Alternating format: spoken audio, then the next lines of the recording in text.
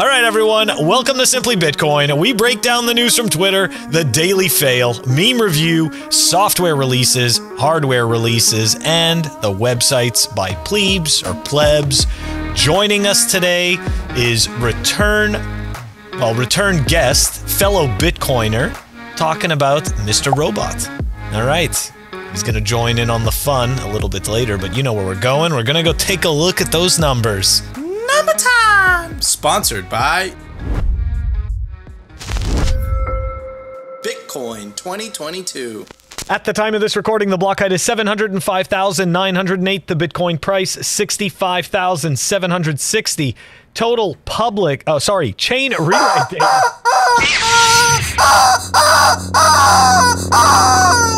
For anyone who's new to the channel, this is Satoshi the Bitcoin chicken, and he hasn't clucked in 200 days. And he only clucks when the price of Bitcoin reaches an all-time high, which it did! 67,000 or almost 67,000, 66,950, a new all-time high. And I suspect he's going to be clucking a lot the, at the, the last two months of the year. Anyways, Phil, I'm sorry. No, no worries, no worries. Chain rewrite days 850, total public lightning capacity holding its own 3109.64 sats per dollar or Moscow time 1520. Mm-hmm. Here we here come the 1400s. Anyways, blocks to the happening 134,092. You know Dude. what? This this kind of you know what? I'll tell you what. This kind of deserves a little bit of this. Right? kind of deserves a little bit of this, right? Phil is dancing. Woo! But all the, yeah, all, the, all the hate, right, from all the losers like Taleb and the Quad Four uh, fool there, Keith uh, McCullough, right, and all these geniuses that just, you know, they had it right. man, Keith right. McCullough, Nassim All- Taleb, um, Xi Jinping, the China ban, the Elon FUD, everyone, everyone, wrong. Can't stop the honey badger. Honey badger keeps on going. Can't believe it, bro. Just another all-time high, but it's it's crazy because if you've been in the space long enough, like you realize that Bitcoin really is like clockwork. This Yeah. thing just, you know, it just goes on its own. Just soak it in, guys. If you've been hodling through the summer, if you're if you're new, if you're class of 2021, you're new to this, welcome to the Bitcoin roller coaster. If you have a couple years under your belt, you guys know what's up. But soak it in. It's these it's these days that we live for and all the other months of just battling it out in the trenches. Man, pretty nice. Not Remember, remember, it's the path, right? It's the journey, not the destination. So let's enjoy this. This is cool, right? This is this is history. It's happening. We're getting a front row seat. You know, this is cool stuff. Soak it in, soak it in. But remember, guys, again, the caca price, or like we like we say on this channel, or the fiat price is the noise. What you guys should be focusing on is the Lightning Network capacity, and that continues to rise, which is very surprising. That completely debunks our earlier theory, Phil. Yeah, we we were wrong in a good way. we were wrong. in a Sometimes, way. sometimes it's good to be wrong. Absolutely. So, but yeah, we're expecting that Lightning Network capacity to keep doing its thing, man. Bitcoin numbers, fabulous. What else is there to say? Let's see what happens at the end of the year. But, anyways, Phil, it's time for The Daily Fail, sponsored by Pirate Hash. We got tagged by ICO once again. And what is it that I loved it? Every time I see this image, I'm always like, all right, what's coming up? So we scroll up, and what do we see? From Sven Henrich? I don't know. He's got the blue check. Uh, what is he? Founder, Northman trader, navigating change markets, blah, blah, blah. Okay, anyways. Blind trust, eh? Powell was trading in his personal accounts. Ooh. This is very surprising. Everyone here, I know, is very surprised. I know Mr. Robot's surprised. I know Nico's surprised. I'm definitely surprised. So, without further ado, let's dive into the very surprising insider trading that happened.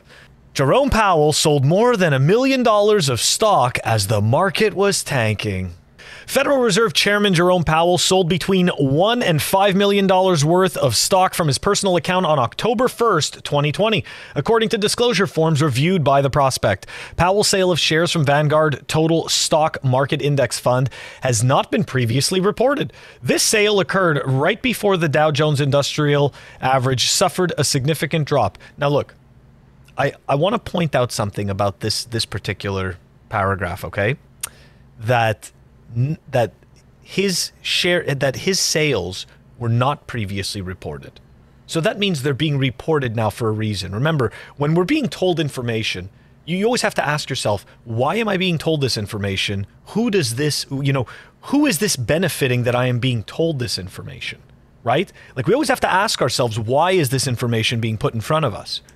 Because remember, we want it they the, the system, right? The entire system that that we exist in needs to create the narrative that these people are accountable. Even though we've never seen any of these people actually be accountable. Anyways, I digress. Let's go. Three other, uh, three other senior Fed officials have faced serious criticism for making stock trades during the pandemic. Dallas Fed President Robert Kaplan, who we reported in a previous episode, and Boston Fed President Eric Rosengren were compelled to take early retirements as a result of the disclosure of their trades. Fed Vice Chair Richard Clarida also came under fire for stock trading. The other trades are now the subject of investigations by the Fed's own Inspector General and the SEC. There is no American with more insider knowledge about the government policy that drives financial market movements other than the chair of the Federal Reserve. The fact that it has to even be implied or said that this person should not be allowed to trade anything at all, should not even be allowed, like it, that position should, should be so heavily scrutinized. But you see, the fiat money doesn't matter. No one gives a shit. They know it's worthless. They know it's worthless. So we're we're again, we're watching a show. Anyways, let's proceed with the fireworks. Here we go. The stock sale came un, uh, came uh, the stock sale came after the September 15th 16th meeting of the Open Market Committee, but before the minutes of that meeting were released to the public on October 7th. Like really? Like this is blatant, right? This is just blatant. I'm dumping my bags because I know what's going to happen. The smaller trades included mostly bonds and bond funds, all below 250K, and most in the $1,000 to $50,000 range. Some of them may have to do with automatic portfolio rebalancing. Sure. Powell made 20. Yeah, exactly. Some of them, right? Oh, yeah. Don't get me wrong. Some of them, I'm sure, right? That just may so happen. But all the ones that he executed himself, you got to come up with a better excuse than that, right? Anyways, Powell made 26 trades in all in 2020, seven sales and 19 purchases. But the October 1st trade stands out because of its size and timing. There are no coincidences. Okay? Under current laws, top Fed officials do not have to put their assets into a blind trust over which they have no control. They don't have to put their assets into a blind trust. Anyways, despite their knowledge of the inner workings of the economy, the Fed's code of conduct for senior official holds that personal financial dealings should be above reproach, and information obtained by them as officials of the system should never be used for personal gain. Huh. Okay. That that's just the it's the code of conduct, Nico. You're not allowed to do anything with that information, okay? You're not allowed to you're not allowed to make it so that the rest of your generations of your family are never going to have to work in a day in their life. You're going to have to hold back from that temptation and just grind it out and make your paycheck, okay? Yeah. Sure. Regardless of the blackout periods, the code of conduct continues. Fed officials should carefully avoid engaging in any financial transaction, the timing of which could create the appearance of acting on insider information concerning Federal Reserve deliberations and actions. They should be careful to avoid any dealings or other conduct that might convey even an appearance of conflict between their personal interest, the interest of the system, and the public interest. How about these people actually fricking go to jail for what everybody knows is complete scamming? How about that? But they won't. Because when you're part of what prints the money, you're above the law. Anyways, because, right, the people who enforce the law are paid with that money. I digress. Anyways, It's, it's, it's the, the tinfoil hat. That's what's happening, Nico. I'm sorry. Anyways, when the trades of Kaplan, Rosengren, and Clarida were disclosed in the press, Powell stated that the Fed's rules are clearly seen as not adequate to the task of really sustaining the public's trust in us. You think? Anyways, and he promised to make changes. Even though I'm not such a fan of Elizabeth Warren because, you know, she she hates Bitcoin because she has to.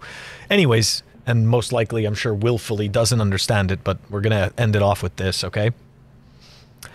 Elizabeth Warren, in a speech on October 5th, faulted Powell for tolerating a culture of corruption at the central bank, calling him a go along to get along leader who doesn't know or doesn't care when, on his watch, people with great responsibility advance their own interests over those of our nation, or someone who drags his feet in dealing with problems that shake the public's confidence in the institution he leads. I mean, don't get me wrong, but to think for even a second, okay? To think for even a second, this has been happening for years, okay?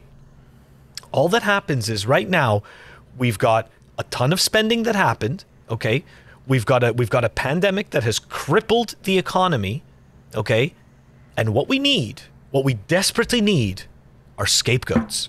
Okay. And if we can prove, right? So, so if, if we can prove that, hey, you know what? Look, we're doing something. We're fixing. We're, we're fixing things, right? We're taking charge. Everything is under control. These people aren't getting away with this under our watch. Kidding me? This is such a show, and I feel so bad for the people that believe this crap. Yeah, man, and look, it, this is just a continuation of what we've been covering. Um, you know, initially this this bombshell the news came out earlier. This is just adding on top of that, right? Earlier we reported how Powell was essentially allocating the money that was printed into the assets that he owned, right? So this is just adding on top of that level. And there's just some key words in there that I want to focus on, which is this idea of public trust in an institution, right? Here's the thing absolute power corrupts absolutely. Bitcoin removes that element of trust. It's rules without rulers, right? And you see the, you know, the, the, the, the point of weakness in a system like this, right?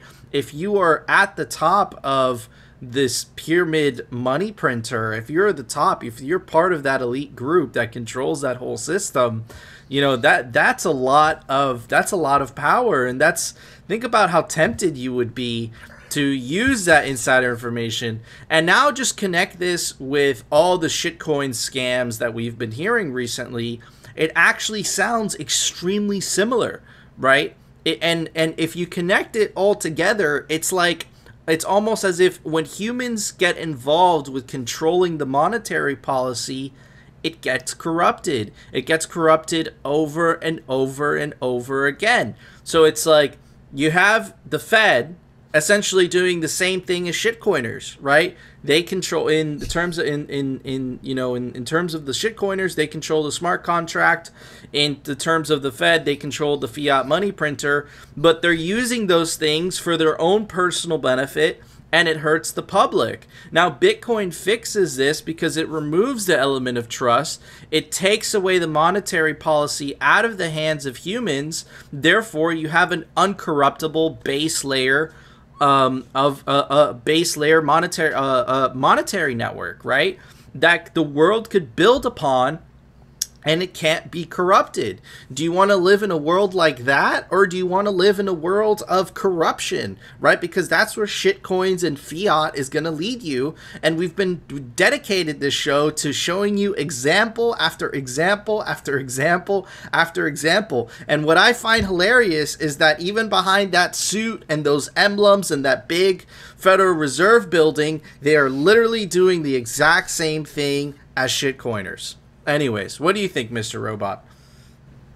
Yeah, I mean, you nailed it on on that. And then that last paragraph where Warren was talking about basically pointing fingers, the first thing that came to my mind was that meme of the three Spider-Man pointing at each other, like, "No, it's this guy. No, it's you. It's this guy. It's this guy over here." I'm like, "No, it's all you. It's all you. All you guys. You're all you're all involved."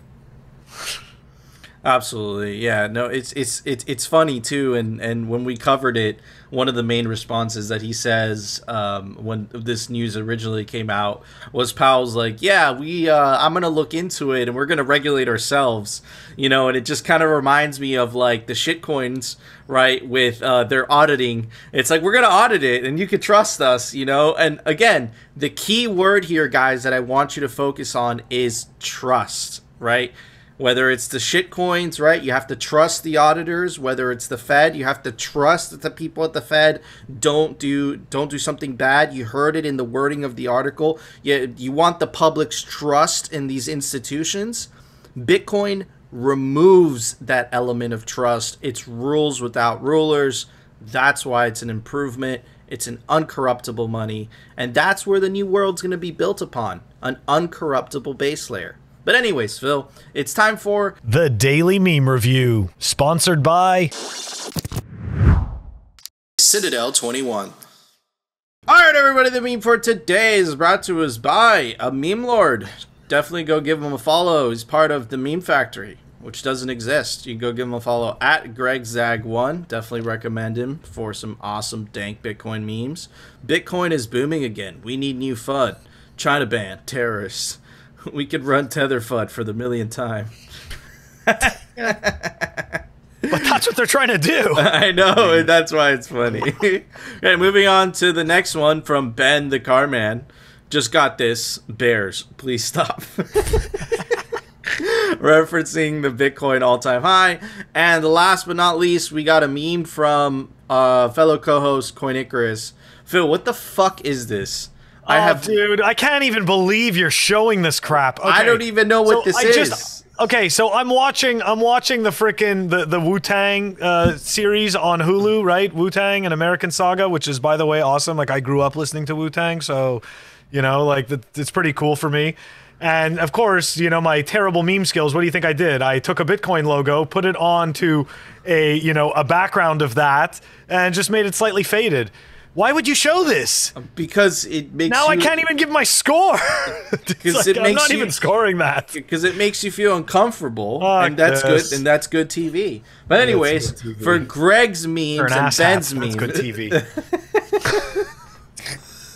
for Greg's memes and Ben's memes, I'm going to give it vibrating Nico's face. you have one of those? Yeah, whoa! I just got dizzy. I And just ordered one. And for Phil's meme because he likes gadgets, I'm going to give it a one terabyte Seagate SSD, or I think this is a hard drive, maybe. I don't know.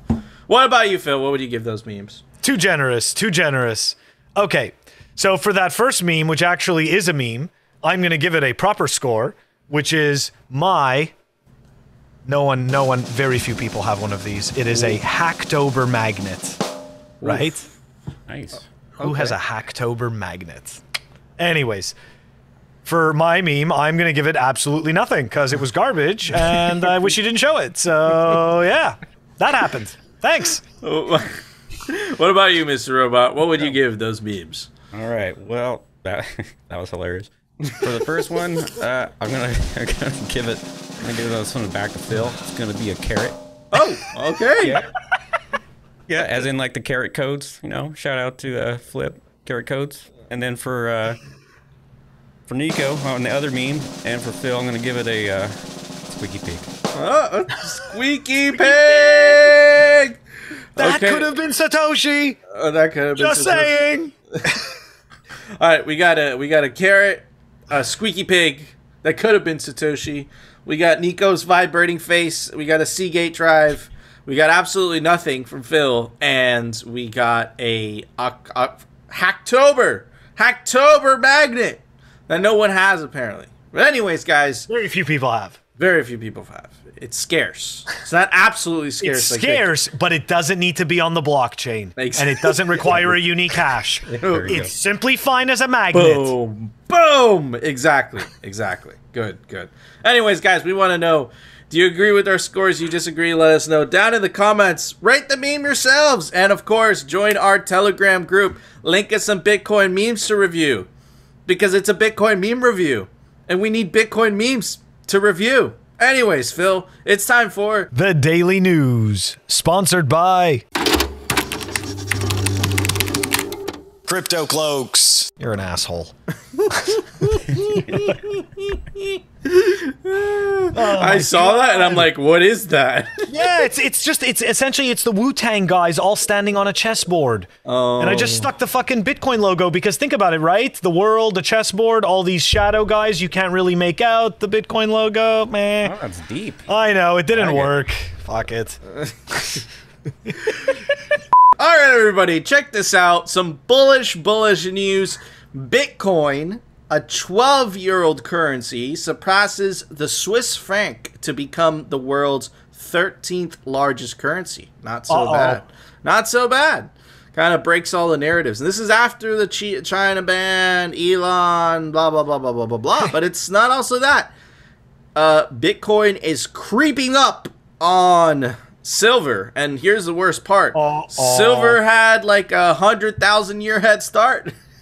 But you, you- Nico, you're misunderstanding. There's utility there. That, yes, true. That's true. I apologize. Don't I forget apologize. my utility. I apologize. So very, very, very cool stuff on that stuff. But anyways, let's get to the news.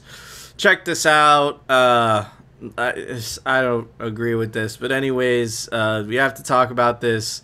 Bitcoin went public today. Satoshi would be proud. I don't know about that statement. Um, Autonaut says LOL. I think that kind of summarizes how the, Exactly. the plebes feel about this, but it is Bitcoin news, so we have to report it. It says the moment ProShares launched their Bitcoin futures ETF, and I'm going to play the video. Live from the floor of the New York Stock Exchange, it's October 19th, 2021. Please welcome executives and guests of ProShares to highlight the first U.S. Bitcoin linked ETF. To honor the occasion, they are ringing the opening bell of the New York Stock Exchange.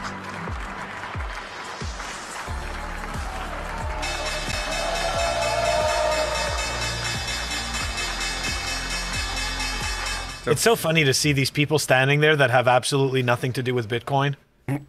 Dude, like, It's like, like, It looks like participation trophy winners.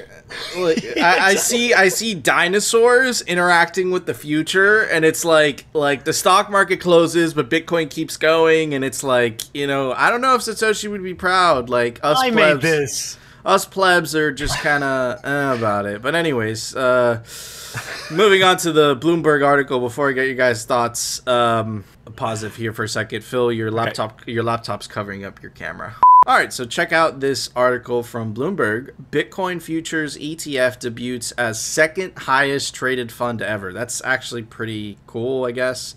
Uh, but moving on. And remember what I told you about the Bitcoin incentives, right? Um, and so now you have a little bit of uh, competition. You have a little bit of competition on Wall Street for those Bitcoin ETFs. And uh, he says, I'm going to guess that this group collectively owns less than one Bitcoin. He's absolutely right, uh, I would say. And then uh, it's funny because the plebs are just there saying uh, the truth. Finally, a good tweet, Barry. Why so salty, Barry? Afraid people don't order your GTBC lunch package anymore. And right, because they're really telling, there's really calling out what these uh, ETFs are. But, anyways, uh, you know, Gary Silbert moves on to uh, file. Gar- uh, Grayscale files with SEC to convert its Bitcoin trust into an ETF. So now there's multiple ETFs, and this is the incentives of Bitcoin. This is how it works. Everyone's trying to compete. This is this is Bitcoin. You see this in mining as well.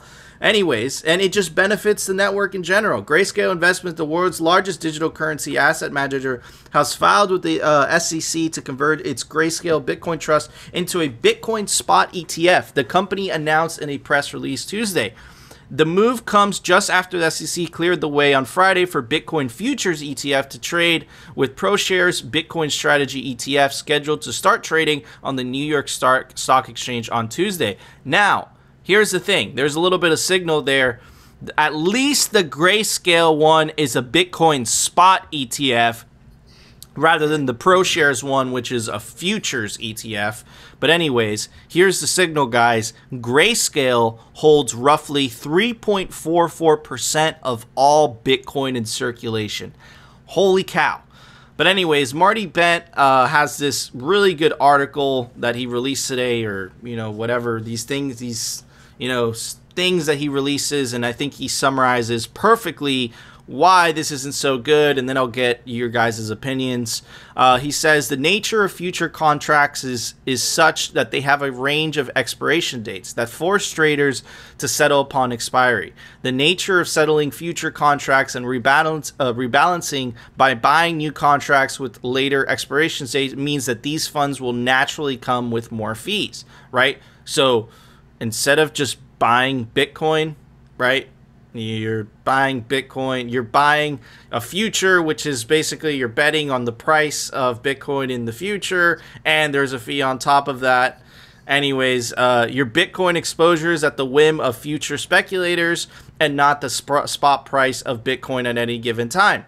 But still, right, the GBTC ETF, which Gary Silbert wants to do, is a spot one, but you still shouldn't buy that one. Why? Because you're you're paying unnecessary fees, right? And uh, Marty makes a really good point. He goes on to say when things get weirder on the inflation front, and they will get weirder, the nature of monetary policy, fiscal policy, plus supply chain constraints demands that it will. The last thing you want is to realize is that you're holding nothing but shitty paper claims on cuck bucks that are losing value faster than moldy yogurt, right? So at the end of the day, Marty's absolutely right. Like, you know, I guess the Wall Street and the institutional crowds are up in arms, celebrating. This is great. You know, Michael Saylor's like, oh my God, this is a big deal. But for us plebs, we see it for what it is. This is paper Bitcoin, right? That you're trusting some like a custodian to to have the amount of Bitcoin that they supposedly have. And now the question is, and, and Caitlin Long touched upon this, right? Is how much of that Bitcoin is going to be rehypothecated, right? So how much of that Bitcoin is just not going to leave? It's just going to stay in the custody of these institutions. And what's going to happen is essentially what happened to the gold market, right? Where there's a bunch more paper gold than there is physical gold, right? Again, you know, Bitcoin is a little bit protected from this because the the the just the mere fact of taking self custody is so much easier than taking physical custody of actual gold. So there is protection there. But again, you know, everyone was celebrating about this on Twitter. They were making such a big deal. But is this going to help the revolution?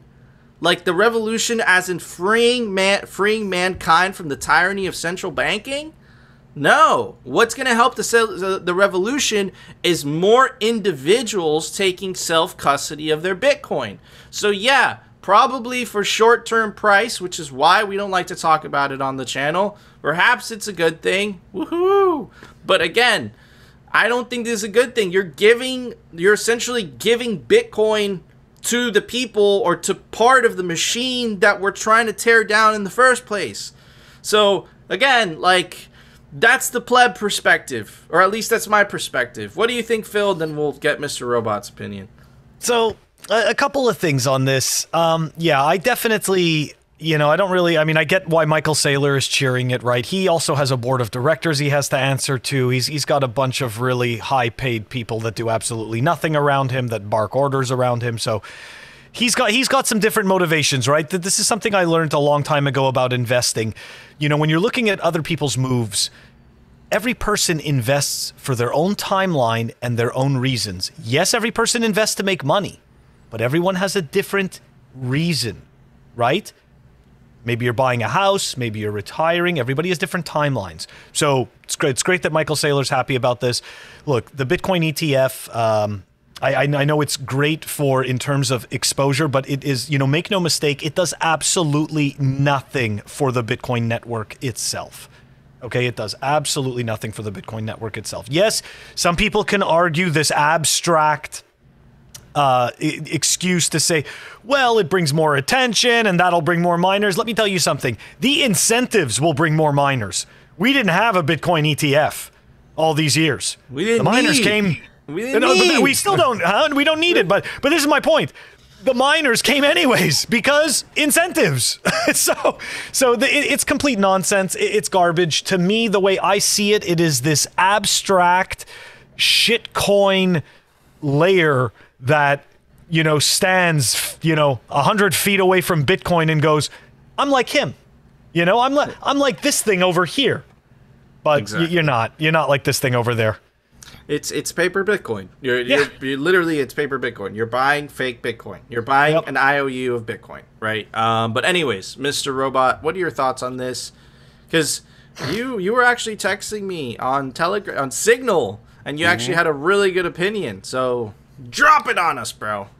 All right. So to break down like what a ETF is like, and this is coming from uh, CoinDesk, says Bitcoin ETFs allow investors to gain exposure to leading cryptocurrency without having to actually own it. Well, fuck, I don't. I want to own Bitcoin. I guess this isn't for me. Tell you what, I'll give you my money. You keep my keys, and then you charge me two percent all year for having it. Well, that's nice. Well, what does Grayscale have? Let's let's run the numbers. You guys love running the numbers. Grayscale currently holds, and this is from the uh, Buy Bitcoin uh, Worldwide Treasuries off Hope.com. It's at six hundred fifty-four thousand six hundred Bitcoin. That kind of sounds like they're keeping it. Absolutely. That's that's that's not going that's not going anywhere. That's Not going anywhere. That's literally not going anywhere. I know that they have to sell some, right, based on how many people are are getting exposure to grayscale, but what I fear is for example, boomers when I always pitch them Bitcoin, they always feel insecure because of the self-custody aspect. So what I end up doing, you know, to a lot of them is I tell them like, listen, if you just don't want to get too uncomfortable, just buy GBTC right? So like for the older generation, right? Like this idea of self custody is so alien that this, you know, this ETF idea is like, oh, now I could get exposure to Bitcoin, but it, they're not taking advantage of the main value proposition of Bitcoin, which is self sovereignty. Controlling your money completely without having to ask anybody for permission. But moving on to a little bit, Phil, we kind of got caught off guard a little bit. Um, and let me tell you why, dude. So while we were focusing on El Salvador and how essentially now they're setting up, uh, how Strike set up this, you know, or Chivo wallet set up this uh, remittance thing. So now you could send money from the United States from abroad to El Salvador for a fraction of you know the cost that it would you know the fraction of the fee of what it would cost you with uh, Western Union. What we didn't realize is that uh, Facebook is actually moving along and attempting to do the same thing. But they're Yeah. they're doing the same thing in Guatemala. So check this out. Facebook's digital wallet finally launches without Diem cryptocurrency. Novi launches in the US and Guatemala, but only with the Paxos stablecoin for now, right? So it looks like, you know, like these tech companies, they don't want this open monetary network, right? They want this intranet, right? So they could still, you know, parasitically take advantage of it. Um, but it's funny though, because the problem with centralized entities is that they don't do so well when it comes to the government, and we already know, based on you know this uh, New York Times article which we covered on this show, that the Treasury and the U.S. government in general is up in arms about Bitcoin because look, just read the title for yourself. Treasury warns that digital currencies could weaken U.S. sanctions, right? When you have an open monetary network like Bitcoin that's decentralized, they could say all they want, but you really can't stop the signal unlike Facebook. So uh, check out this article by The Tribute. Uh, Facebook can't be trusted to manage payment systems, U.S. lawmakers, right? The article goes on to say, sharpening the attack on Facebook, a group of U.S. Democrats has asked Facebook CEO Mark Zuckerberg to end his digital wallet and cryptocurrency project, adding that the social network can't be trusted to manage cryptocurrency. In a letter, Senator Brian Schatz Sherrod Brown and Elizabeth Warren, there she is again, and others that said Facebook is once again pursuing digital currency plans on an aggressive timeline. It has already launched a pilot for payment uh, payments infrastructure network, even though these plans are incompatible with the actual financial regulatory landscape, not only for Diem specifically, but also for sca- stablecoins in general. The letter came after Facebook launched Novi, a new digital wallet, as part of a pilot program in the US and Guatemala, reports The Verge. In the letter to the senators, uh, the senator said Facebook cannot be trusted to manage a payment system or digital currency when its existing ability to manage risk and keep consumers safe has proven wholly insufficient. We urge you to immediately discontinue your Novi pilot and to commit that you will not bring Diem to the market, they stressed. So, again, right, why is this happening? Don't take it from me. Listen, I'll just read you Satoshi's quote. He'll say it better than I can. Governments are good at cutting off the heads of a centrally controlled networks like Napster, but pure peer-to-peer networks like uh, Gnutella and Tor seem to be holding their own, right? So again, why and and just connect the dots a little bit, right? Treasury warns that the digital currencies could weaken US sanctions, but Facebook decides to do it anyways. Well, guess what? There's a Facebook CEO to knock on the door of and say, "Hey, I don't like your pilot program in Guatemala. It's taking power away from me." But with Bitcoin on the other hand, whose door are you going to knock on? Nobody's right? So again, like you have these tech companies that are trying to pivot, right? They're trying to capture market share. They're paying attention to what Strike is doing. We missed it a little bit, to be honest. This came out of nowhere. And I think Facebook kind of did that on purpose to try to fly under the radar of the regulators.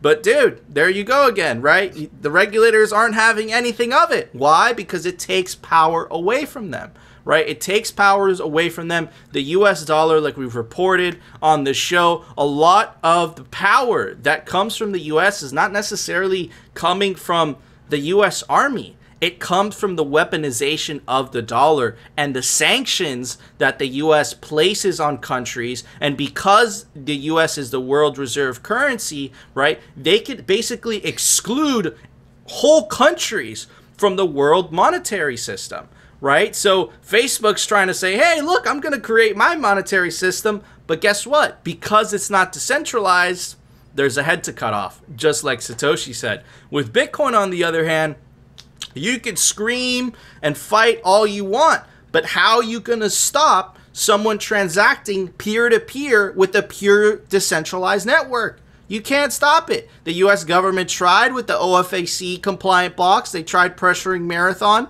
That didn't work out too well. A decentralized network is the only way that we that's the only tool that we have to change the system, to change this terrible slavery system that we have now, where central bankers and elites get to decide who is bankable, who is unbankable, right? And on the other side, on the bright side, right, you have this open, free monetary network that's all inclusive, that has rules without rulers. There's no such thing as elites in the Bitcoin network, right? So again, major fail from Facebook. I'm sorry, Phil, because that is a fail, but I kind of tied it into the news a little bit. Anyways, what are your guys' thoughts on this?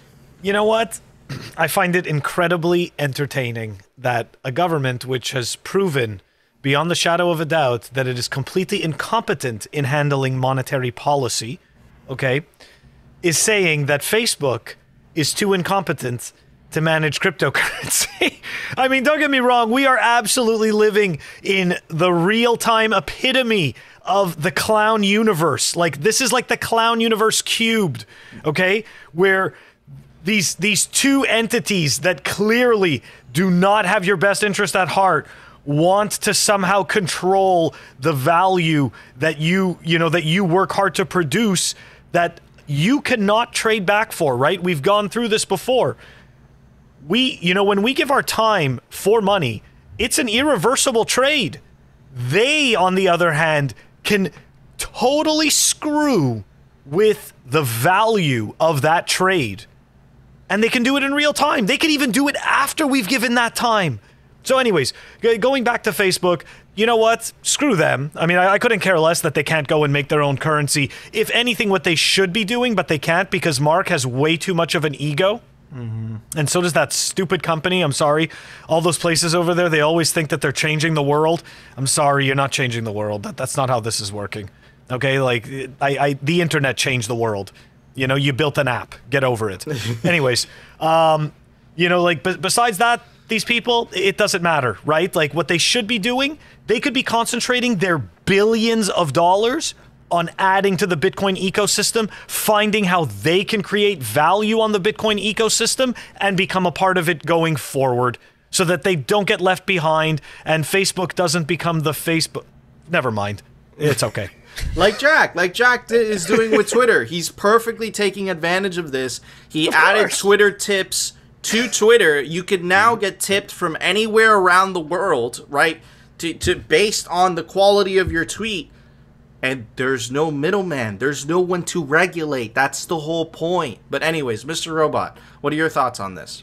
Yeah, I, I can kind of see what's ha- what Facebook was trying to do with that. So what they're trying to do because they're already selling your data without your knowledge. Well, they are. They kind of admitted that they're already selling your data. So what they wanted to do, they were going to create a shitcoin to attach your data to to sell, so they can sell your data back to it, sell your own data back to you in that shitcoin. And then the federal government's like, hold on, wait a minute. No, we're gonna do that later with the CBDCs. So you can't have that. and that's exactly why they shut fucking Facebook down, just because of that shit. They're like, nah, that's our job. Amen to that. brother. Beautiful. Beautiful. Beautiful. That was that was so well put, guys. Nail in the coffin. Stop using the state's money. It's their money. It's not your money. Start using Bitcoin. It's your money. It's not their money. Defund them. Defund tyranny. Opt the F out of their broken clown world system. But, anyways, Phil, there was an open source software release today. Why don't you tell everybody about it? software releases. All right, we've got Lightning Terminal version 0.5.2 alpha that was released. It is a browser based interface for managing your channel liquidity. It's actually looking pretty cool. Anyways, down below in the show notes, check it out.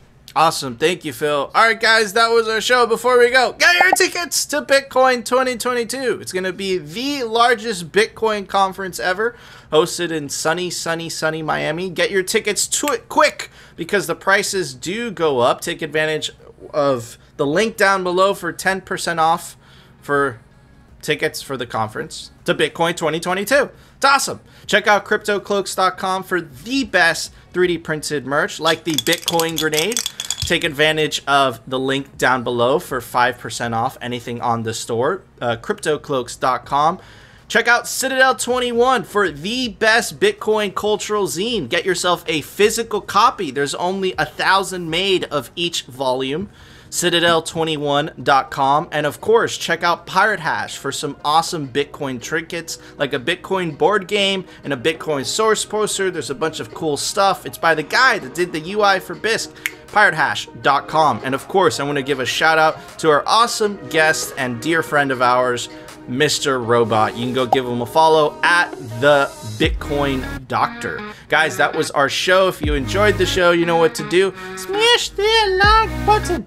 And of course, if you want to continue hearing the catastrophic fails from the shitcoiners and the central bankers, which are basically the same thing at this point, and the Bitcoin news from the pleb perspective, definitely consider subscribing. And we'll see you tomorrow, guys, for another episode of Simply Bitcoin. The clown world central bankers are trying to sell you a shitcoin future.